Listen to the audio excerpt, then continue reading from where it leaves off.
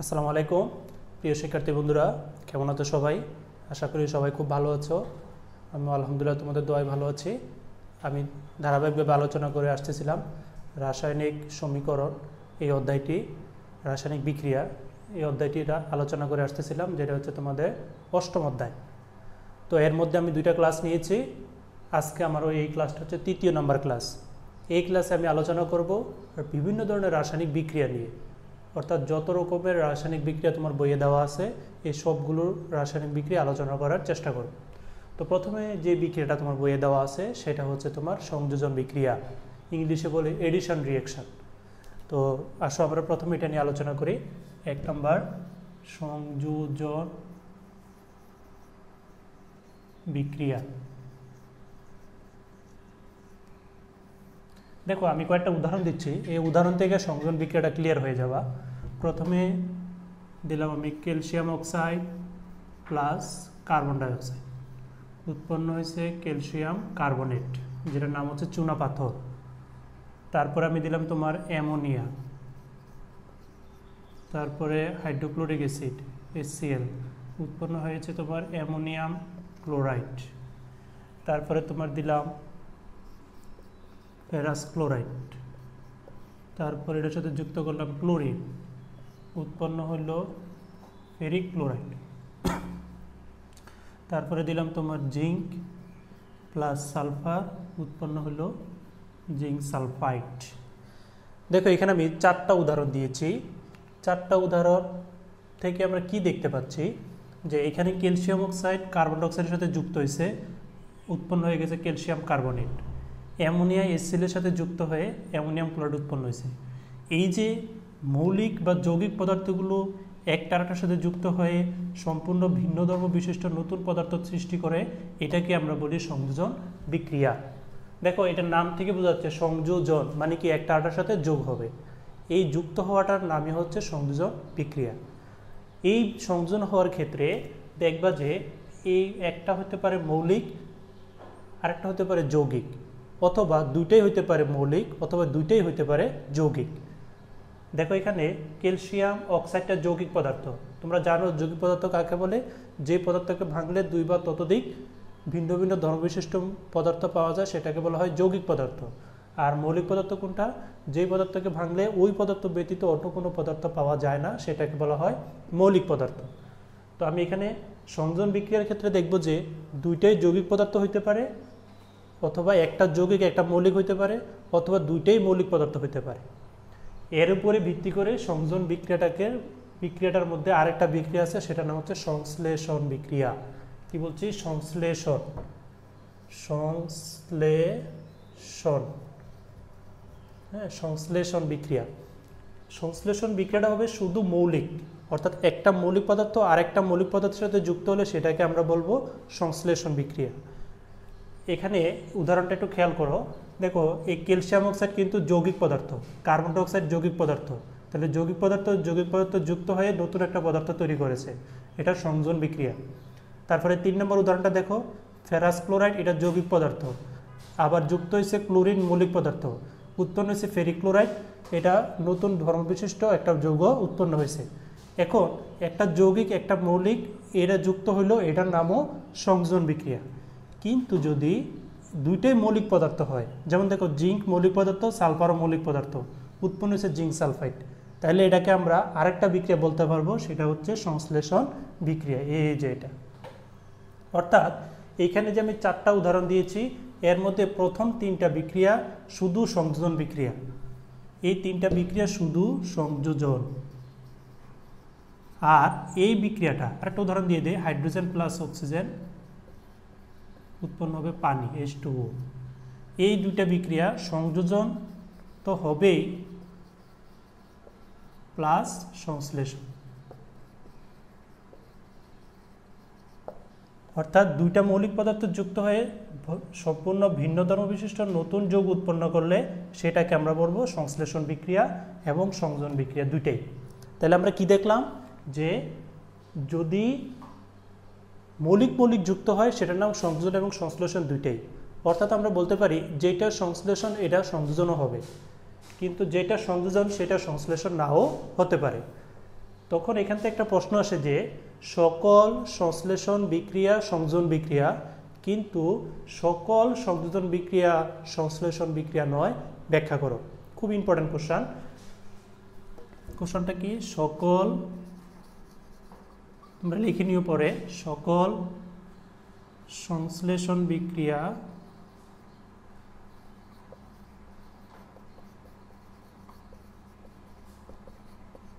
সংযোজন বিক্রিয়া।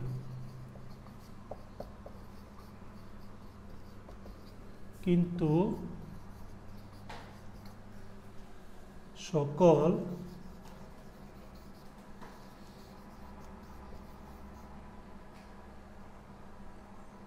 সংযোজন বিক্রিয়া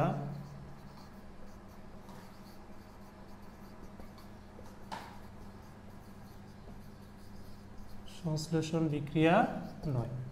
ঠিক আছে? তো যদি এই প্রশ্নটা পরীক্ষা আসে, তখন তোমরা কি করবা? প্রথমে সংযোজন বিক্রিয়ার সংজ্ঞা দিবা, তারপরে সংশ্লেষণ বিক্রিয়ার সংজ্ঞা দিবা। তারপরে এমন একটা উদাহরণ দিবা, যেটা সংযোজন এবং সংশ্লেষণ দুইটাই। এই তিনটা থেকে যে কোনো একটা দিলে হবে। তারপরে এই দুইটা থেকে যে কোনো একটা উদাহরণ দিবা। তারপরে বলবা যে সুতরাং দেখা যাচ্ছে যে যে সকল বিক্রিয়া, সংশ্লেষণ বিক্রিয়া, তারা সংযোজন বিক্রিয়া। কিন্তু যে সকল বিক্রিয়া সংযোজন, সে সকল বিক্রিয়া সংশ্লেষণ নাও হতে পারে। ঠিক আছে? আশা করি সংযোজন এবং সংশ্লেষণ নিয়ে তোমাদের আর কোনো সমস্যা হবে না। এবার আসো দুই নম্বর, আরেকটা বিক্রিয়া যাচ্ছি। এটা হচ্ছে দহন বিক্রিয়া। দুই নম্বরে যাও। দহন বিক্রিয়া কম্বাসন রিয়েকশন ইংলিশে বলে কম্বাসন রিয়েকশন আমি দুটো উদাহরণ দিচ্ছি, তারপরে সংজ্ঞাটা দেব। কার্বন প্লাস অক্সিজেন, উৎপন্ন হবে carbon dioxide. Methane plus oxygen, উৎপন্ন হবে কার্বন ডাইঅক্সাইড প্লাস পানি। এখানে দেখো, দুইটা বিক্রিয়ার মধ্যে অক্সিজেন আছে। অর্থাৎ দহন বিক্রিয়ার মধ্যে অক্সিজেন উপস্থিতি থাকা একদম মাস্ট অর্থাৎ এখানে দহন বিক্রিয়ায় অক্সিজেন উপস্থিত থাকতেই হবে। এইবার অক্সিজেনের উপস্থিতিতে দেখো আমি প্রথম বিক্রিয়ার মধ্যে কার্বন দিয়েছি, এটা একটা মৌল। আবার দ্বিতীয় বিক্রিয়ার মধ্যে মিথেন দিয়েছি, এটা একটা যৌগ। তাহলে দহন বিক্রিয়া কাকে বলে দেখো? যে যে রাসায়নিক বিক্রিয়ায় অক্সিজেনের উপস্থিতিতে কোনো মৌল বা যৌগকে পুড়িয়ে উক্ত মৌলের অক্সাইডে রূপান্তর করার প্রক্রিয়াকে দহন বিক্রিয়া বলে। দেখো এখানে উপাদান মৌলের অক্সাইড কি? এইখানে কার্বনের সাথে অক্সিজেন যুক্ত হলে কার্বন ডাইঅক্সাইড হবে। সুতরাং এখানে মৌলকে পুড়িয়েছ। এবার আসো যৌগ। কোনো যৌগকে তুমি যদি পুরাও দেখো এই যৌগটা কি কি মৌল দ্বারা গঠিত? কার্বন আর হাইড্রোজেন। তাহলে কার্বনের সাথে একবার অক্সিজেন যাবে, হয়ে যাবে কার্বন ডাইঅক্সাইড। আবার হাইড্রোজেনের সাথে একবার অক্সিজেন যাবে, হবে পানি। তাহলে প্রত্যেকটা মৌলের সাথে অক্সিজেন যুক্ত করলে সেটাকে আমরা বলব দহন বিক্রিয়া। খুব সহজ, যে প্রত্যেকটা মৌলের অক্সাইডে রূপান্তর করতে হবে। এই যে কার্বনের সাথে অক্সিজেন কারণ মিথেনটার মধ্যে দুইটা মৌল আছে, একটা কার্বন একটা হাইড্রোজেন কার্বনের সাথে একবার অক্সিজেন যাবে হাইড্রোজেনের সাথে একবার অক্সিজেন যাবে। তাহলে আমরা দহন বিক্রিয়ার সংখ্যাটা আরেকবার দিচ্ছি। যে সকল রাসায়নিক বিক্রিয়ায় অক্সিজেনের উপস্থিতিতে মৌল বা যৌগকে পুড়িয়ে উপাদান মৌলের অক্সাইডে পরিণত করার প্রক্রিয়াকে দহন বিক্রিয়া বলে। আশা করি দহন বিক্রিয়াটা ক্লিয়ার এখন দেখো, একই বিক্রিয়া একাধিক বিক্রিয়াও হতে পারে। যেমন দেখো, এই কার্বন প্লাস অক্সিজেন, এটাকে আমরা এখন বলতেছি দহন বিক্রিয়া। এটা কিন্তু আবার সংযোজন বিক্রিয়াও। একটু আগে বলে আসছি না, একটা মৌল আরেকটা মৌলের সাথে যুক্ত হলেই তো সংযোজন বিক্রিয়া। আবার এটা সংশ্লেষণ বিক্রিয়াও, কারণ এটাও মৌলিক এটাও মৌলিক। তাহলে দুইটা মৌলিক পদার্থ একত্রে যুক্ত হয়ে একটা নতুন যোগ উৎপন্ন করলে সেটাকে আমরা বলি সংশ্লেষণ বিক্রিয়া। তাহলে দেখো, এ বিক্রিয়ার কয়টা নাম হইল? একটা হচ্ছে সংযোজন বিক্রিয়া, একটা সংশ্লেষণ বিক্রিয়া, আরেকটা হচ্ছে দহন বিক্রিয়া। তাহলে এই বিক্রিয়াটাকে আমরা তিনটা বিক্রিয়া বলতে পারি। এরকম একটা বিক্রিয়ার একাধিক নামও হতে পারে। ঠিক আছে? এবার আমরা আরেকটা বিক্রিয়া যাচ্ছি, সেটা হচ্ছে তোমার তিন নম্বর প্রতিস্থাপন বিক্রিয়া। প্রতিস্থাপন বিক্রিয়া। ইংলিশে বলে রিপ্লেসমেন্ট রিয়েকশান বা ডিপ্লেসমেন্ট রিয়েকশান তো আমি কয়েকটা উদাহরণ দিচ্ছি, দেখো। আয়রন প্লাস কপার সালফেট উৎপন্ন হবে ফেরাস সালফেট প্লাস কপার। তারপর আরেকটা উদাহরণ দিচ্ছি, দেখো, zinc plus H two SO four উৎপন্ন হবে জিঙ্ক সালফেট প্লাস হাইড্রোজেন এখন দেখো, এইখান থেকে আমরা সংজ্ঞাটা জেনে যাব। এটা মুখস্থ করার দরকার নেই। দেখো, এইটা একটা যৌগ। এই যৌগটার মধ্যে কপারটাকে এসে আয়রন সরিয়ে দিবে। সরিয়ে নিজে ওই স্থান দখল করে নতুন যৌগ তৈরি করবে। দেখো উৎপাদে এ কপারের জায়গায় আয়রন বসে গেছে, বাকি সব ঠিক আছে। এবার কপারটাকে সে দূরে সরাই দিছে। তাহলে আমরা সংজ্ঞাটা কি দিতে পারি? কোনো যৌগ হতে। আচ্ছা এখানে আরেকটা জিনিস, এখানে একটা কম সক্রিয়, বেশি সক্রিয় একটা বিষয় আছে। অর্থাৎ যাকে সরাবে, সে তার শক্তি থাকতে হবে কম। আর যে সরাবে, তার শক্তি থাকতে হবে বেশি। দেখো, এই বিক্রিয়ায় কপারের শক্তি কম, আয়রনের শক্তি বেশি। তাইলে কপারকে আয়রন সরিয়ে দিচ্ছে। এখন আমরা সংজ্ঞাটা দিতে পারি যে, কোনো যে সকল রাসায়নিক বিক্রিয়ায় কোনো অধিক সক্রিয় মৌল, কোনো যৌগ হতে কম সক্রিয় মৌলকে সরিয়ে নিজে ওই স্থান দখল করে যে নতুন যৌগ উৎপন্ন করে তাকে প্রতিস্থাপন বিক্রিয়া বলে। ঠিক সেম দ্বিতীয় সংজ্ঞাটাতেও উদাহরণটার মধ্যে দেখো, এই হাইড্রোজেনকে সরাই দিয়েছে জিঙ্ক। তার মানে হাইড্রোজেনের শক্তি থাকবে কম, জিঙ্কের শক্তি হয়েছে বেশি। তাহলে দেখো এখানে জিঙ্ক হাইড্রোজেনকে সরিয়ে নিজে ওই স্থান দখল করছে। এই যে জিঙ্ক এসে বসে গেছে, হাইড্রোজেনকে সরাই দিছে। তাহলে ঠিক সেম এইখানেও ওই সংজ্ঞাটা এটাই যে এই যে রাসায়নিক বিক্রিয়ায় একটি অধিক সক্রিয় মৌল কোনো যৌগ হতে কম সক্রিয় মৌলকে সরিয়ে নিজে ওই স্থান দখল করে নতুন যৌগ উৎপন্ন করে তাকে বলা হয় প্রতিস্থাপন বিক্রিয়া। এখন প্রশ্ন হচ্ছে যে তুমি কীভাবে বুঝবা যে স্যার কোনটার শক্তি কম, কোনটার শক্তি বেশি? এই কারণে একটা সক্রিয়তা সিরিজ আছে, তোমরা এটা অবশ্য নাইন টেনে গেলে পাবা। এই সক্রিয়তা সিরিজটা আমি এখন একটু লিখে দিচ্ছি। এই সিরিজটা মনে রাখলে তুমি বুঝতে পারবা যে এই বিক্রি মানে কার শক্তি কম, কার শক্তি বেশি, এই বিক্রিয়াটা কি আদৌ হবে কি না আমি আরেকটা উদাহরণ দিচ্ছি, দেখো এখানে।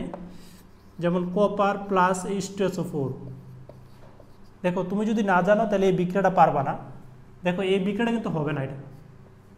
নো রিয়েকশন নো রিয়েকশন এখানে কোনো বিক্রিয়াই হবে না। তার কারণ কি জানো? তার কারণ হচ্ছে কপার কিন্তু হাইড্রোজেনকে সরাইতে পারবে না। কারণ হাইড্রোজেনের শক্তি কপারের চেয়ে কম।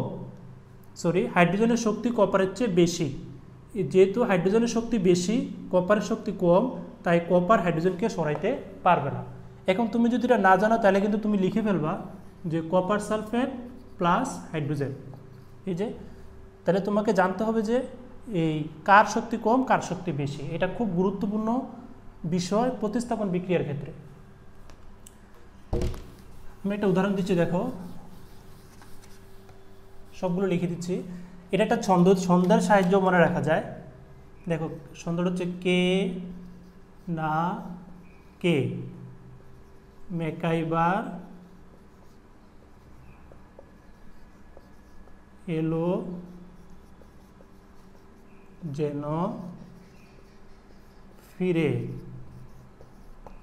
তারপরে সুস্মিতা। সুস্মিতাকে পাবে বলে হায়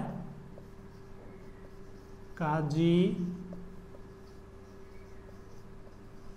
আজি পিটাবে আমায় তাহলে প্রথম কে দিয়ে হচ্ছে তোমার? পটাশিয়াম। না দিয়ে হচ্ছে সোডিয়াম। এ কে দিয়ে হচ্ছে ক্যালসিয়াম। ম্যাকাইবার মানে হচ্ছে তোমার ম্যাগনেশিয়াম এলো মানে হচ্ছে অ্যালমোনিয়াম। জেনো মানে হচ্ছে জিঙ্ক।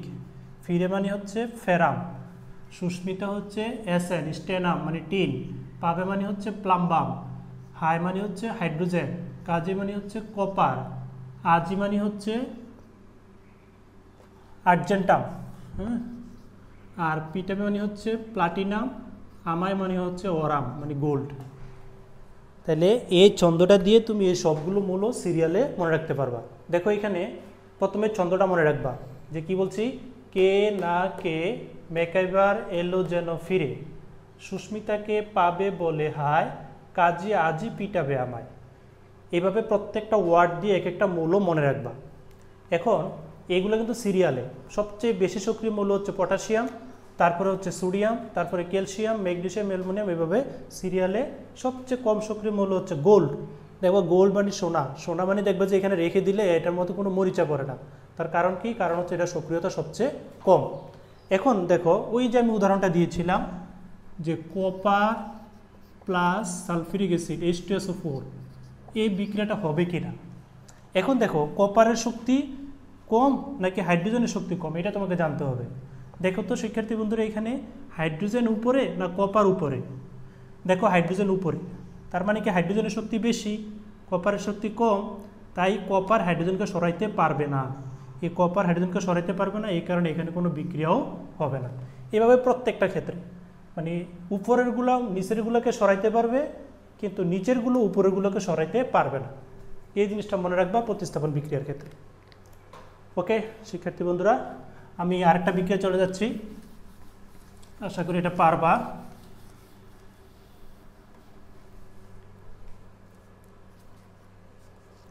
তারপর সব বিয়োজন বিক্রিয়া লাস্ট ওয়ান চার নাম্বার। বিয়োজন বিক্রিয়া, খুব সহজ। বিয়োজন বিক্রিয়া হচ্ছে সংযোজন বিক্রিয়ার সম্পূর্ণ উল্টাটা। দেখো এখানে আমি একটা উদাহরণ দিয়ে তারপরে সংজ্ঞাটা দেব। যেমন দেখো ক্যালসিয়াম কার্বনেট। এটাকে তুমি যদি তাপ দাও, তাহলে উৎপন্ন হবে calcium oxide plus carbon dioxide. এখানে দেখো, আমরা কিন্তু সংযোজন বিক্রিয়ার ক্ষেত্রে পরে আসছি, ক্যালসিয়াম অক্সাইড, কার্বন ডাইঅক্সাইড যুক্ত হয়ে ক্যালসিয়াম কার্বনেট তৈরি করে। কিন্তু আমরা এখানে দেখলাম কি? উল্টা। বরং ক্যালসিয়াম কার্বনেটটা ভেঙে ক্যালসিয়াম অক্সাইড, কার্বন ডাইঅক্সাইড উৎপন্ন করে। তাহলে আমরা সংজ্ঞাটা কি বলতে পারি? যে রাসায়নিক বিক্রিয়া কোনো যৌগকে উত্তপ্ত করলে সেটি ভেঙে এক বা একাধিক সরি এটা দুই বা ততোধিক হবে। দুই বা ততোধিক মৌলিক বা যৌগিক পদার্থে পরিণত হয়, সেই বিক্রিয়াকে আমরা বলি বিয়োজন বিক্রিয়া। আবার বলছি যে রাসায়নিক বিক্রিয়ায় কোনো যৌগ ভেঙে দুই বা ততোধিক পদার্থে পরিণত হয়, সেই বিক্রিয়াকে বিয়োজন বিক্রিয়া বলে। এখানে উদাহরণগুলো বেশি ইম্পর্ট্যান্ট কারণ বিয়োজন বিক্রিয়া বেশি নাই, কয়েকটা উদাহরণ। মনে রাখলে হবে। পটাশিয়াম ক্লোরাইড দাও কে C L O three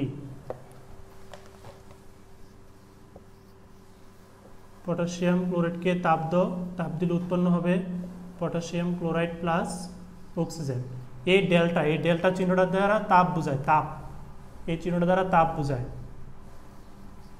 নাম হয়েছে ডেল্টা ডেল্টা।